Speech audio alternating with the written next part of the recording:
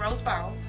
I work in material management in Baton Rouge. Okay, since I've been here in the five years, I've gotten a promotion from Central Supply Tech to Lead Tech, and I really, really enjoy working here.